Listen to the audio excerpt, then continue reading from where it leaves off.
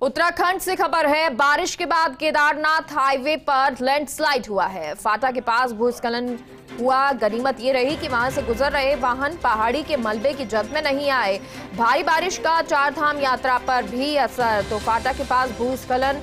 लेकिन अच्छी बात ये रही कि वहाँ से जो वाहन पहाड़ी के मलबे में जा, जो वहाँ से वाहन गुजर रहे थे, वो पहाड़ी के मलबे में नहीं आए।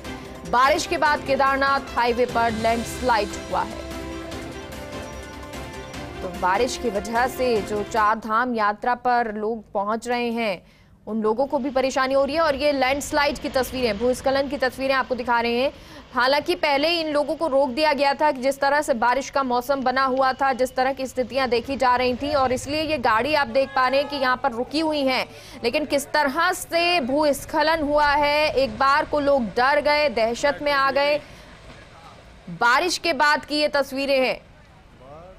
और क्योंकि जो लोग यहाँ चार धाम की यात्रा करने के लिए पहुँच रहे हैं, उनको थोड़ी सी परेशानी ज़रूर और थोड़ा सा डर भी, क्योंकि इस तरह से भू भूस्खलन सामने देखना और एक डर का माहौल बन जाता है। लेकिन अच्छी बात ये रही कि कोई हताहत नहीं हुआ, क्योंकि वहाँ जो लोग गुजर रहे थे, वो पहले ही रुके हुए थे, दूर रुके हुए थे, जिस वजह से इस मलबे की जद में नहीं आए।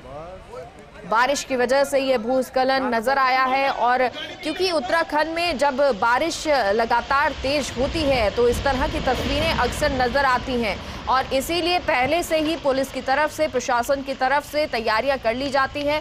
और आज भी इसी तरह की ये तस्वीर आपको दिखा रहे हैं। केदारनाथ की ये तस्वीरें हैं। ये सुपर एक्सक्लूसिव तस्वीर आपको दिखा रहे हैं, जहाँ भूस्खलन हुआ और इस भूस्खलन से जो लोग थे, एक बार को डर गए, लेकिन गनीमत ये रही कि जो मलबा था, उसकी जद में लोग नहीं आए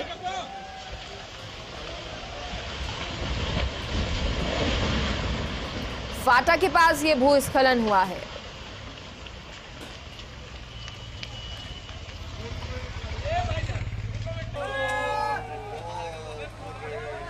Yeah.